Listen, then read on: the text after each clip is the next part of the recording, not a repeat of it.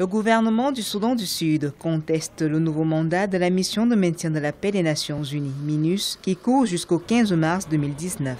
Selon le porte-parole du gouvernement Michael Makwe, les autorités sud-soudanaises n'ont pas été consultées sur la question. Ce nouveau mandat de la MINUS s'accompagne de l'adoption de la résolution 2406 qui charge la mission de poursuivre son travail de protection des civils par le déploiement proactif de ses troupes de maintien de la paix à travers le pays. Le Soudan du Sud, qui a souvent dénoncé une ingérence dans ses problèmes internes, évoque une nouvelle fois une atteinte à sa souveraineté.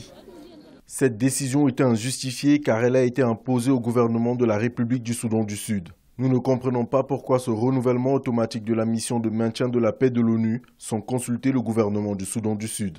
Ce nouveau mandat de la MINUS encourage la poursuite de la médiation entre le gouvernement et les partisans de l'opposant Riek Machar, principaux protagonistes du conflit qui dure depuis quatre ans. Cette médiation, conduite par l'autorité intergouvernementale pour le développement, est quelque peu dans l'impasse depuis l'arrêt en février des pourparlers devant conduire à l'engagement des deux parties à respecter les différents accords de paix et de cesser le feu. Au niveau du concept sécurité, on a développé une plateforme qui implique la coopération, la collaboration des soviétiques et des chinois pour amener Salva Kiir à accepter en réalité un vrai dialogue et l'évolution d'une réelle solution mettant fin au conflit entre les deux parties. D'un point de vue purement factuel, il est de plus en plus clair qu'aujourd'hui le problème c'est Salva Kiir et non pas son opposition en réalité. On a pu contenir les ardeurs et les, demandes de, de, matière, mais pas de Salva Kiir.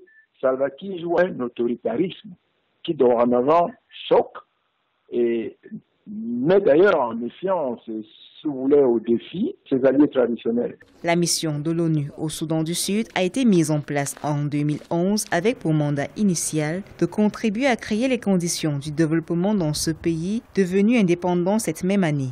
En mars 2014, son mandat a été modifié pour se concentrer sur la protection des civils, l'accès à l'aide humanitaire, la surveillance et le suivi de la situation des droits humains dans le pays.